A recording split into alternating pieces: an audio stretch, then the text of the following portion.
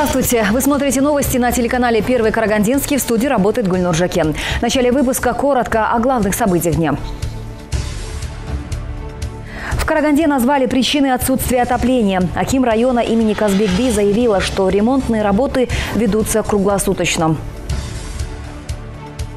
Предприниматели Караганды не спешат исправлять ошибки на баннерах. В Караганде прошел рейд по выявлению орфографических ошибок на рекламных щитах.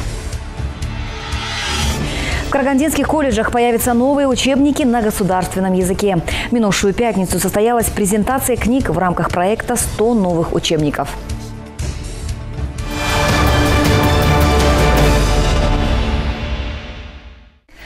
Отопительный сезон в Казбекбийском районе Караганды начался не без проблем. Аварии на теплотрассах, запоздалые ремонты в квартирах, а также отсутствие органов управления домов. Вот основные причины, по которым карагандинцы до сих пор не получают тепло. 84 многоэтажных дома Казабекбейского района Караганды не получают тепло по вине услугодателя. 48 домов не подключены к отоплению по вине КСК. Если теплотранзит обещает устранить свои неполадки в считанные дни, то в самих домах дела обстоят не лучшим образом. К примеру, в одном из домов только сегодня начали менять трубы. В подвальных помещениях меняются трубы. Например, КСК «Дружба», Муканова, 17. Э, э, полностью трубы сняли. Э, Долгомысов, председатель КСК, не, не готов дом. Вот мы сейчас подключаемся, аппарат Акима района. Э, проводим, э, провели общее собрание. Э, сейчас в срочном порядке обеспечиваем подготовку и запуск, чтобы люди не остались без тепла. Встречу с журналистами Аким района назначила возле дома номер 48 по улице Крылова. И это не случайно. 30 сентября здесь произошел порыв трубопровода, в результате чего несколько домов остались без отопления. На ликвидацию аварии ушло 5 дней. Из-за того, что дефект образовался в месте прохождения э, значительного количества э, электрических кабелей, э, пришлось разрабатывать грунт в основном вручную, поэтому немного затянул, затянулись сроки устранения дефекта. 5 числа нами дефект был устранен, и в 21.00 подано теплоснабжение на, в данную коробку. Есть и еще одна причина, по которой многоэтажные жилые дома могут остаться без отопления. Это нерадивые жильцы, которым вздумалось заниматься ремонтом именно сейчас. Очень сейчас много моментов, когда люди, наши жильцы, начинают ремонты в октябре. Я хочу привести конкретные факты. Нуркена Абдирова, 15, квартира 200, 247. Именно сейчас замена проведения ремонтных, э, ремонтных работ. Э, значит, э, также хочу сказать, по, у нас сейчас идет по Ермекова по, Ер, по Ермекова 14 также идет в, в нескольких квартирах, в нескольких квартирах идет сейчас ремонт. И таких квартир предостаточно, заявила Аким. Татьяна Шатохина также отметила, что проблемы с качеством теплоснабжения чаще всего возникают в домах без органов управления. Таких в районе 127. Прошлой зимой именно от жильцов этих домов в диспетчерскую службу поступило около 500 обращений по поводу некачественного теплоснабжения. Андрей Тенжа, Сулам Кулбеков, Андрей Тимофеев, Первый, Карагандинский. Закон о статусе педагога карагандинские учителя называют главным подарком к профессиональному празднику. Этот законопроект – логическое продолжение реформ, которые уже несколько лет проходят в сфере образования, заявляют преподаватели. О разработке нового закона, который должен защитить учителей от ненужных проверок и лишних нагрузок, заявил президент в своем послании, с которым он выступил 5 октября. Президент Казахстана отметил, что у учителей слишком большая загруженность. Педагоги страны слишком много времени уделяют посторонним поручениям, которые не связаны с их прямыми обязанностями. Карагандинские учителя уже назвали новый закон главным подарком к профессиональному празднику в каждом, наверное, послании, зная, что именно эта сфера стратегическая, уделяет внимание и говорит, в этом послании он еще раз подчеркнул, что за три года мы должны довести э, финансирование сферы образования 10% от ВВП. То есть, конечно, это вот э, сейчас, когда я говорю, 99,9 миллиарда тенге составляет бюджет образования области.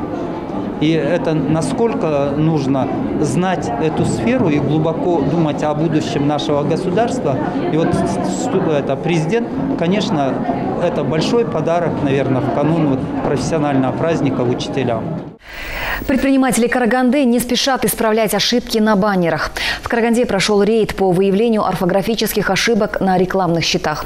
Специалисты отдела культуры и развития языков провели проверку на городских улицах. Всего они обошли около 10 объектов. В наше время реклама является несомненным двигателем прогресса, но все большее возмущение у жителей города вызывают грубые ошибки в вывесках на зданиях и рекламных баннерах, а некоторые неправильные переводы и вовсе доходят до абсурда. Немало и тех, кто халатно относится к надписям на государственном языке. Я часто замечаю, что на магазинах и торговых домах надписи только на русском языке. Так как мы живем в Казахстане, каждый рекламодатель должен думать сперва о государственном, а потом уже и других языках. Все должны придерживаться закона, будь это государственные или частные учреждения. В ходе рейда специалисты обнаружили некоторые нарушения закона по статье 21, касающиеся реквизитов и визуальной информации. В Казахстане, согласно предписаниям в Кодексе об административных нарушениях, за такие нарушения только предупреждают, но штрафов за неграмотность не предусмотрено. В текущем году, согласно плану, мы на 29 улицах провели разъяснительные работы. В неделю два раза проводим рейды по всему городу. Число проверенных нами объектов до сегодняшнего дня составляет 45%. Мы намерены и дальше продолжать работу в Пришахтинске. С начала года по городу были проведены рейдовые работы в 127 объектах. Напомним, на сайте отдела культуры и развития языков действуют телефоны доверия. Каждый гражданин, заметив ошибки на вывесках, имеет возможность позвонить и сообщить об этом. Мользир Жакан, Аман Кужанов, Андрей Тимофеев. Первые Карагандинские. Быть эффективными призвали представители общественных советов и местного самоуправления городов и районов Карагандинской области. В Доме дружбы состоялся специальный семинар-тренинг.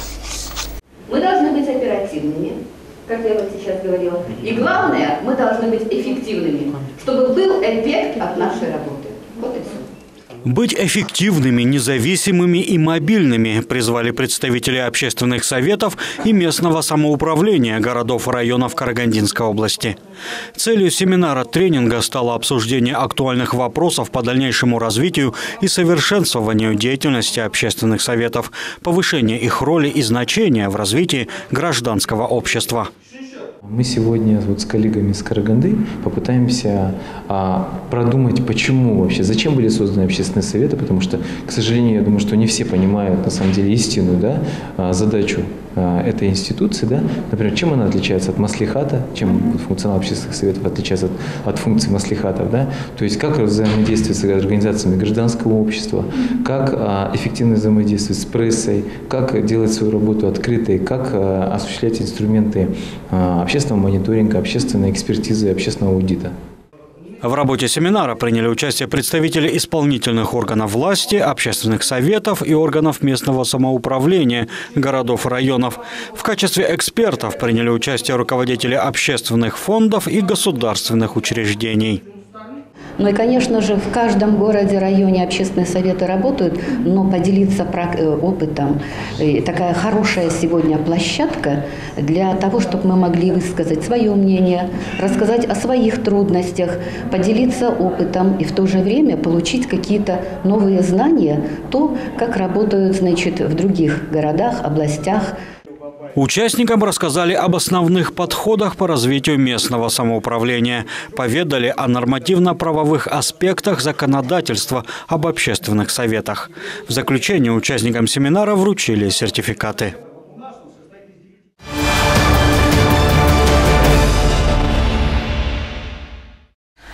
Карагандинских колледжах появятся новые учебники на государственном языке. Минувшую пятницу состоялась презентация книг в рамках проекта «100 новых учебников». Мероприятие прошло с участием руководителя областного управления образованием и директоров колледжей. Перевод бестселлеров ведущих изданий мира позволит казахстанским студентам получить престижное образование наравне с их зарубежными сверстниками. Президент Нурсултан Назарбаев не раз подчеркивал важность обеспечения учебных заведений качественными учебниками, отвечающими мировым стандартам. Благодаря инициативе главы государства у молодежи появилась возможность познакомиться с трудами по психологии, культуроведению, менеджменту, философии и другим дисциплинам на родном казахском языке. На каждый колледж, да, экземпляров 17, но мы сейчас, э, потому что за короткое время невозможно очень много издать, поэтому мы сейчас как бы сделали затравку. Каждый колледж получает 17 экземпляров. Это э, впервые изданные учебники. Ну, в дальнейшем, э, мы говорили, уже 100 учебников будет. На презентации вниманию сотрудников образования были представлены 18 учебников, переведенных на казахский язык. Комплекты данных учебников будут переданы 40 колледжам области. Э, э, Чтобы наша казахстанская молодежь была приспособлена к глобальной конкуренции и пользовалась спросом, она должна получить должное образование. Это возможно благодаря таким проектам, как 100 новых учебников. Эти учебники откроют новые возможности нашим студентам. Стоит отметить, что в ближайшем будущем на государственный язык будут переведены 100 учебников. Напомним, реализация проекта «100 новых учебников» осуществляется благодаря Национальному бюро переводов. Оно приступило к работе с лета 2017 года. Тохжан Лянова, Жаслан Макулбеков, Андрей Тимофеев, Первый Карагандинский. Карагандинцам разъяснили правила осуществления государственных закупок. Семинар был организован управлением по вопросам молодежной политики. В роли лекторов выступили специалисты Центра электронной коммерции. Современная экономика предоставляет возможность всем желающим выйти на большой и разноплановый рынок госзаказа. Однако не все знают, как сделать это успешно. В связи с этим для руководителей неправительственных организаций и специалистов молодежных ресурсных центров Карагандинской области был организован данный семинар, рассказывает руководитель управления по вопросам молодежной политики Мирас Хоттебай. В 2018 году мы провели анализ по, по, по проведенным нашим конкурсам, и в основном только 10% прошли по итогам конкурса. Вопрос стоит почему? Потому что они не знают именно новые правила э, государственного социального заказа. И цель наша – это обучить наших неправительственных организаций и э, директоров центров, молодежных ресурсных центров. Большую часть участников составили руководители молодежных неправительственных организаций. Таких в области около 80. Эксперты рассказали им о сферах, которые предназначены только для неправительственных организаций. Также специалисты Центра электронной коммерции отметили, что сделают акцент на самых распространенных ошибках участников госзакупок. Мы сегодня будем акцент делать на а, именно типичных ошибках – которые бывают в данной сфере именно, да, а для именно неправительственных организаций, да, то есть участие в закупках определен конкретный способ, то есть это а, конкурс а, по государственным закупкам услуг э, государственного социального заказа, в которых э, участвуют только неправительственные организации, да. То есть только данная категория потенциальных поставщиков имеет право участвовать в таких закупках. Семинар состоял из четырех модулей. Участникам рассказали об изменениях в законодательстве, организации и контроле в сфере госзакупок и о правилах осуществления электронных госзакупок. По окончанию каждый участник получит сертификат. Тохжан Лянова, Жаслан Макулбеков, Андрей Тимофеев, Первый Карагандинский. Карагандинским школьникам рассказали о важности укрепления ментального здоровья. В школе номер 48 состоялась лекция, приуроченная к Всемирному дню психического здоровья. Любой специалист подтвердит, что психическое здоровье требует такого же внимания, как и физическое. Ведь одна только депрессия предрасполагает к инфаркту миокарда, диабету и множество других заболеваний. Поэтому в последние годы Управление здравоохранения ведет активную работу в области охраны психического здоровья. Важную работу, начиная со школьников. Очередную лекцию приурочили к Всемирному дню психического здоровья. Это мероприятие ко Дню психического здоровья. Это 10 октября. И во всех школах города Караганды, а также в городе Балхаш, Казгане и в районных центрах проводятся такие лекции. Ученики средней общеобразовательной школы номер 48 признали, что узнали много нового и полезного. Подросткам рассказали, как бороться с плохим настроением и любыми предпосылками депрессии. Да, мне понравилось. Я понял, что стрессом подвержены большинство подростков в наше время, и что со стрессом можно легко бороться. Я посоветовал э, не самовнушать себе, что все плохо, и самому справляться. То есть справляться можно с помощью книги, музыки. Примечательно, что подобные поучительные лекции прошли в других школах города. Также различные мероприятия, направленные на пропаганду здорового образа жизни, проводятся и в других регионах. Тохжан Лянова, Айден Жакан, Андрей Тимофеев, Первый Карагандинский.